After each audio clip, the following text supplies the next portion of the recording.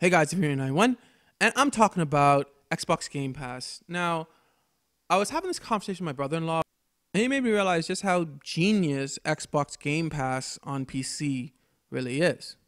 And now I realize it's not just Xbox Game Pass on PC, but now, as of September 15th, they've started the beta for their mobile app too. I mean, if you look at last generation, there were over 40 million Xbox One sold, over 100 million PS4s, and there were over 13 million Wii U's sold, right?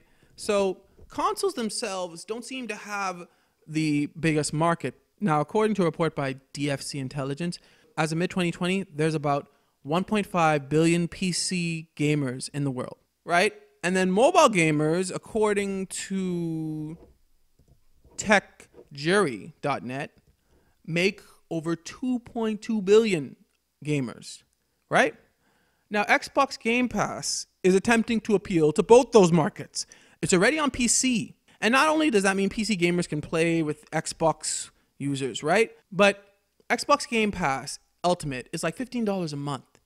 So a lot of PC people, I think, they already probably pay a lot of money for their PC games every year. Game Pass Ultimate being $15 a month is actually significantly cheaper, I believe, than them paying for a lot of the games themselves. So I think that a lot of PC gamers may be getting the Xbox Game Pass, not only to be able to play with like people on Xbox, but also because it's just a pretty good deal. I mean, $15 a month, it's basically like Netflix for games. And I think that's what people are going to see it as, especially as the future comes. And I think a lot more like big AAA games may be available on it. I think it's going to be looked at as basically Netflix for games. And I know that it's only in beta right now, but the mobile part of it is going to be huge too, I think, because mobile gamers, if you if you tap into a market of 2.2 billion users, and now you give them the ability to pay. Once again, it's like Netflix for games. You give them the ability to subscribe for fifteen dollars a month and play like full blown AAA games in some circumstances on their mobile phones. So these are almost untapped markets by the console. Yes, I know Nintendo tried the mobile gaming market. Didn't really work out too well for most cases. I'm not sure if Sony has ever really del- delved into the mobile gaming market or even the.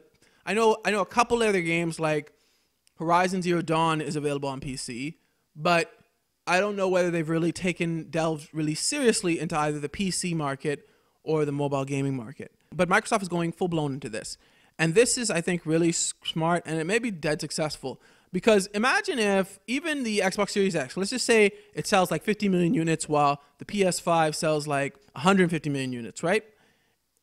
If that's the case, but Xbox Game Pass Ultimate users are like, I don't know, 500 million, Xbox still kind of won that. So I'm just saying, this is really a stroke of genius because they're hitting almost untapped markets for the consoles. So I do wonder how this work, is going to work out. Only God knows. But what do you guys think about Xbox Game Pass? Do you guys also think it's, it's genius how Microsoft is doing this so that they can hit almost untapped markets when it comes to console gaming manufacturers?